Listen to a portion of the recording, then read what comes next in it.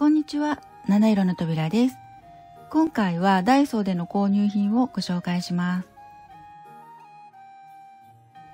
最初はキルティングのトートバッグです。550円です。売り始めの頃に一度見かけて保留していたものですが、次にはお店になくて、やっとブラックを見つけたので今回購入しました。ファスナー付きなので袋の部分の全体的な形は船型になります。内側には同色の裏地とポケットが付いています。サイズは残念ながら記載はなかったので自己測定してみました。出し入れ口の横幅43センチ、高さ30センチ、底の部分の幅33センチ、底待ち12センチです。持ち手はやや長めに作られているので、肩にかけることができます。私の肩にかけた場合、袋の口は脇の下8センチぐらいのところにあります。袋の中はポケット以外の仕切りはないので、インバッグを使うとより快適に使えるかと思います。こちらは洗濯はできないので、汚れた場合は布で拭き取ることになります。カラーは他にもベージュやカーキがありました。使いやすいサイズで早期に品切れたので、今は見つけたらラッキーなキルティングのトートバッグです。次は折りたたみエコバッグです。220円です。最近形の違うミニポーチ付きのエコバッグが続々と販売されています。新商品のエコバッグの中でこちらを選んでみました。エコバッグよりミニポーチ目当てで買っています。ミニポーチはエコバッグとは別々のものなので、それぞれ別々に使うこともできます。エコバッグのサイズは幅45センチ、高さ40センチ、奥行き10センチです。2リットルのペットボトル3本ぐらい入るサイズ感です。エコバッグは無地です。ミニポーチは他にもブラックとレッドがあり、どちらもエコバッグはブラックでした。こちらは洗濯ができませんのでご注意ください。エコバッグは使っているうちにおそらく適当に折りたたむようになると思いますので、私はミニポーチとは別々に使おうと思っています。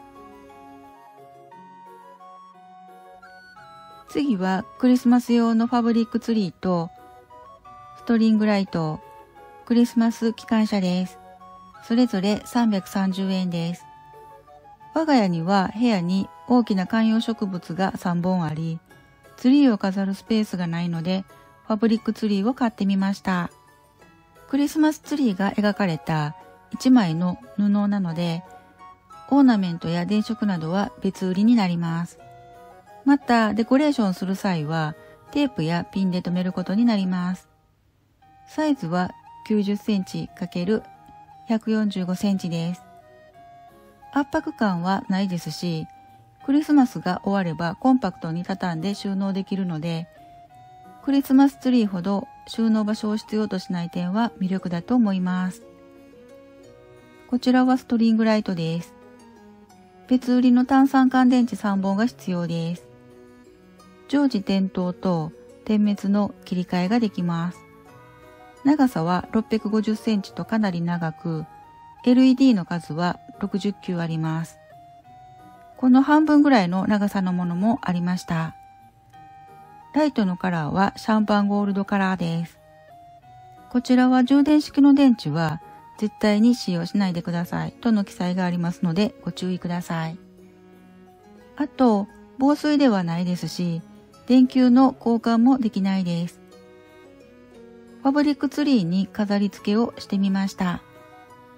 カラフルな飾り付けがあると、クリスマスツリーらしく可愛くなると思いますが、ライトだけでもおしゃれだと思います。もう一つ、すごく迷って結局買ったのがこちらのクリスマス機関車です。姫椿とベニヤでできた木の装飾品です。機関車は2種類あって、赤や緑などのカラフルなものは機関車の上にプレゼントなどが載っていてとても賑やかな感じに作られています。私はシンプルに何も載っていないホワイトの機関車の方を選んでみました。小物でも何でも入るものを入れられるので、ある意味期間限定の小物入れみたいです。サイズ記載はないですが全長35センチ強です。最寄りの大型店ではまだ品出ししていなかったので、これらは別のお店で買いました。去年と同じと思われるものがたくさんある中で、目新しいものもありましたので、クリスマスグッズの購入を考えている方はお早めにチェックしてみてください。次は保存容器にもなるお弁当箱です。110円です。コカ・コーラデザインなので真っ赤な容器になっています。こちらはエア弁を開けると蓋をしたまま電子レンジで加熱できます。今保存容器としてだとこのような蓋をしたまま電子レンジで加熱できるものが豊富に販売されています。両面ロックなのでしっかりと閉まります。パッキン一体型なので使用後のお手入れが簡単なのも魅力です。容量は 500ml です。材質は本体と蓋はポリプロピレン、パッキンとエア弁は合成ゴムです。耐冷耐熱温度はマイナス20度から140度です。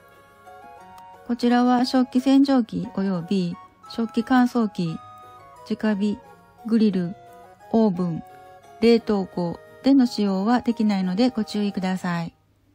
また、電子レンジの使用は温めのみで加熱調理には使用できないので合わせてご注意ください。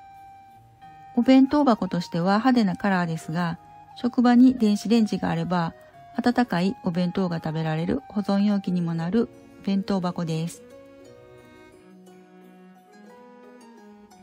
次は、ウェットヘアポイントブラシです。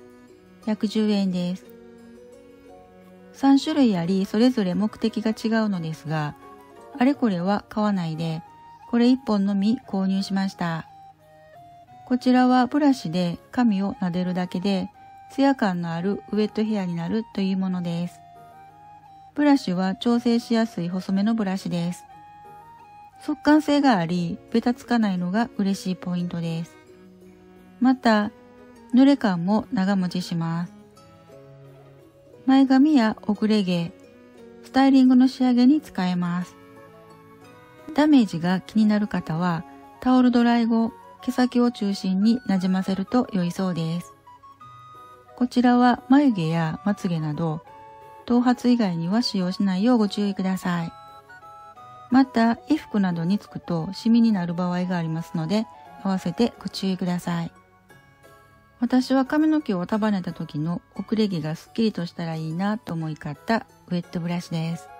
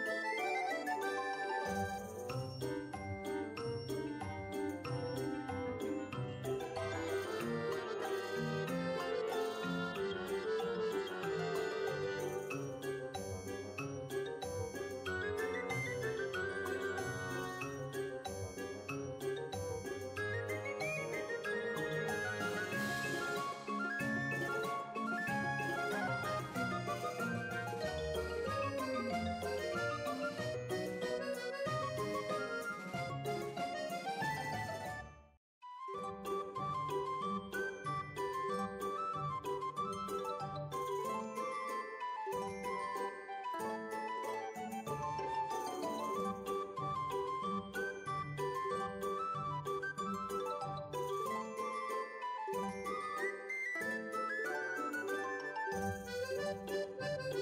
you.